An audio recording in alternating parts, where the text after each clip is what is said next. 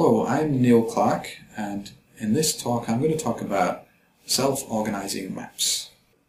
Now, the self-organizing map is uh, a method which is uh, useful for visualizing structure in high-dimensional data.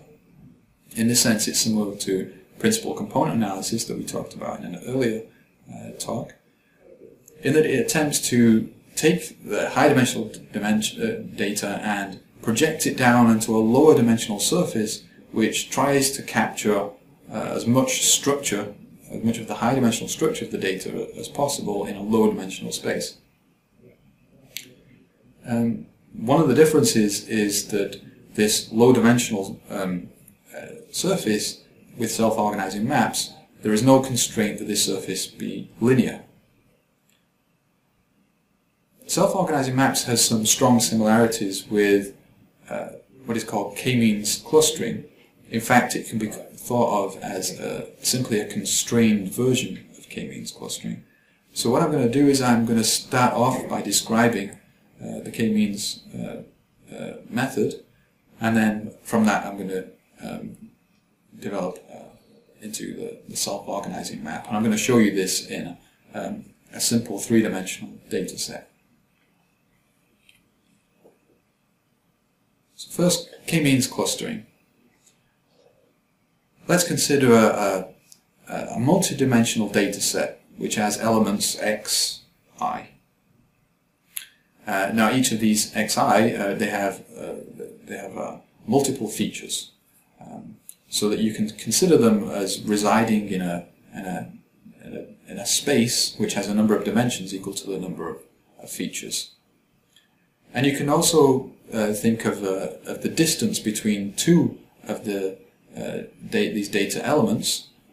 Perhaps you might like to think um, as, uh, as gene expression. You know, each X might be a, a, gene expression profile, and each gene expression profile is consists of the expression of many genes.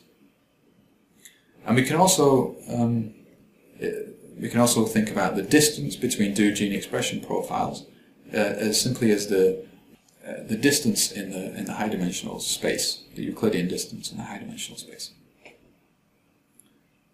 Now, with the k-means procedure, we um, we we first have define a, a, number k, and this is going to be the number of uh, clusters that we're going to divide the data up into. So usually you'll have some idea of what k should be, uh, or you have some kind of you have some method for determining what, what should be. And we're going to introduce um, a, a, number uh, k uh, of prototypes or centers, and they each of these have have position uh, m sub k. Then each data point becomes associated with the closest cluster, closest in the Euclidean sense. Then what we do is we look for the, the partition of the, of the data uh, into these uh, clusters. We've tried to find the, the, the, positions of the centers which optimally cluster the data uh, in, in the sense that they minimize the, the sum of the squared errors between the data points and their associated clusters. So this is written uh, as an equation here. So what this means is we're, we're essentially trying to find the optimal way to, to, to cluster uh, the data. So here I have a, a movie illustrating this procedure.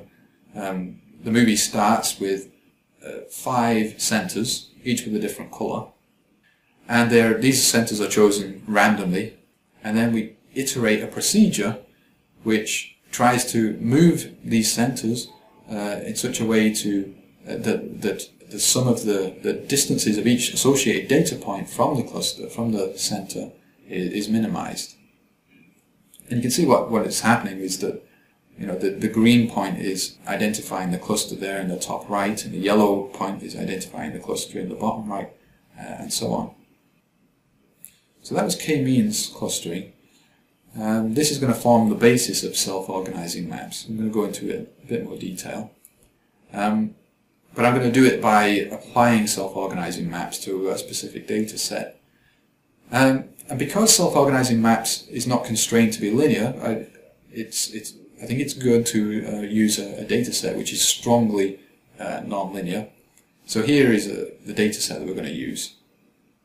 Um, uh, the, so the, it's, you know, the, the points are scattered around a sphere.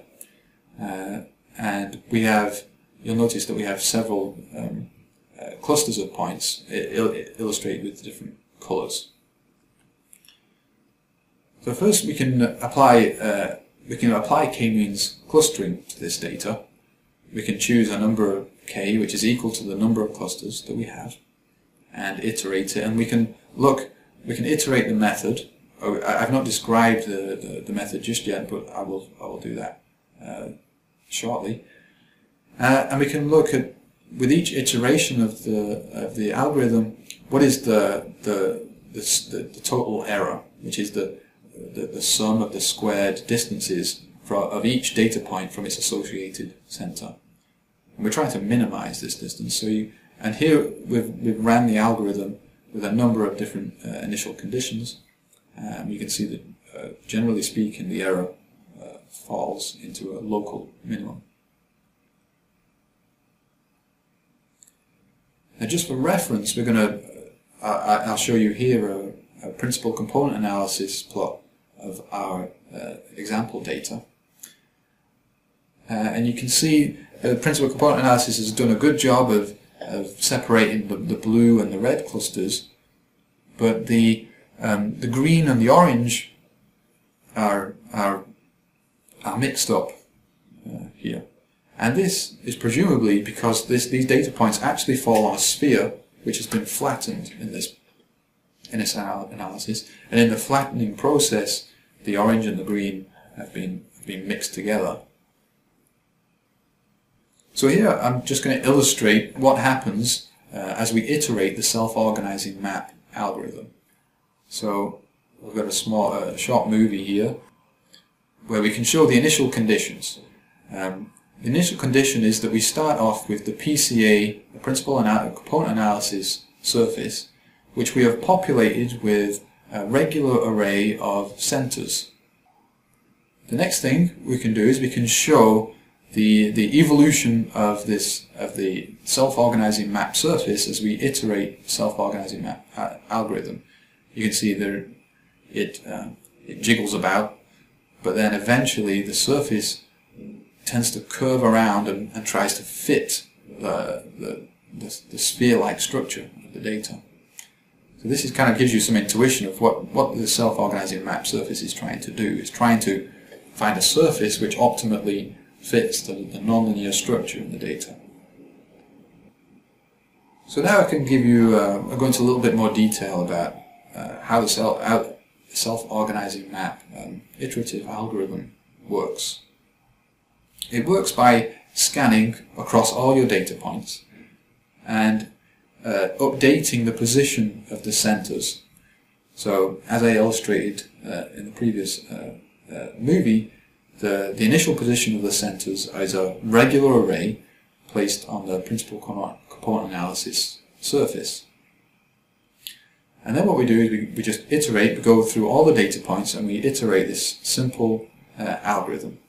For each data point, xi, we find the closest in Euclidean space um, center, which we'll call M, mk.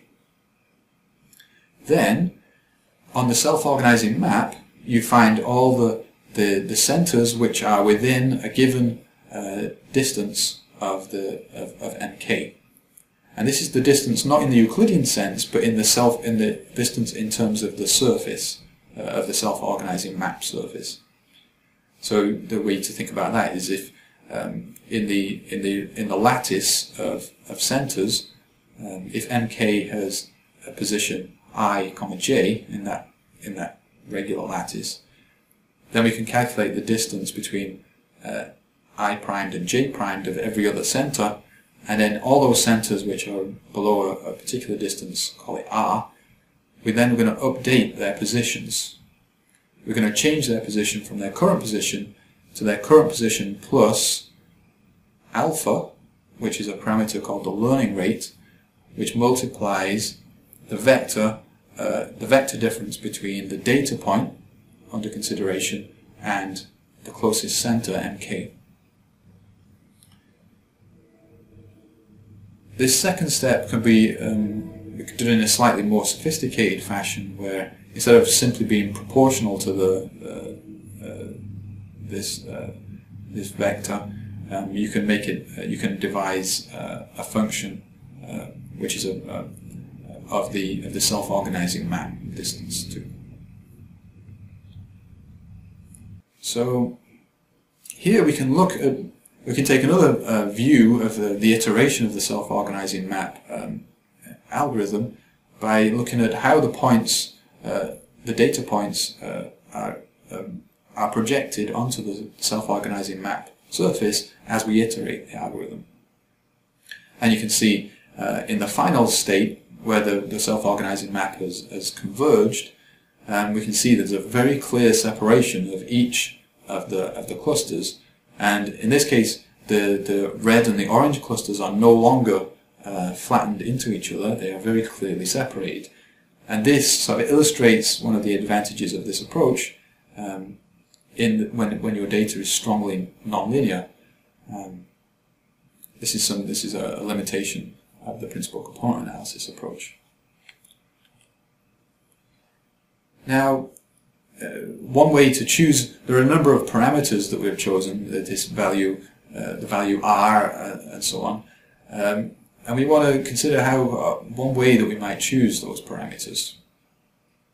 Um, one way to think about that is to think about um, uh, the, the, the error. So, which, so remember, by the error in k-means, it's the same here, is the, the sum of the squared distances of each data point from its associated center. So this is kind of a measure of how well uh, the, your, your k-means or self-organizing map is fitting the data. Now because self-organizing map is a constrained version of k-means, we would expect its error to be larger than the k-means because it's going to, uh, in a certain sense, suffer from the constraints. K-means is, is freer to minimize the error in another way.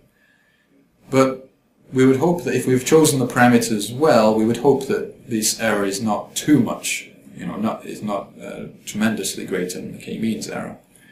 So here what we've done is I've shown for this solution uh, to this problem, this example problem, uh, the blue curve shows the, the, squared error as a function of the uh, of the iteration of the algorithm, and the orange line at, the bottom indicates the k-means error.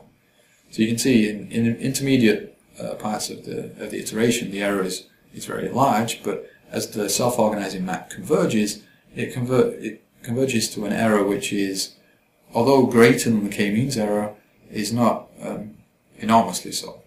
So this can gives us a, a, a, feeling that we've chosen the parameters uh, reasonably. So in summary, uh, the self-organizing map is uh, a, a, method of dimensional reduction. It's a way of looking at high-dimensional data, which has the advantage that it's it's not constrained uh, to be uh, linear, so that the surface uh, can can uh, adapt to the non-linearities in your data.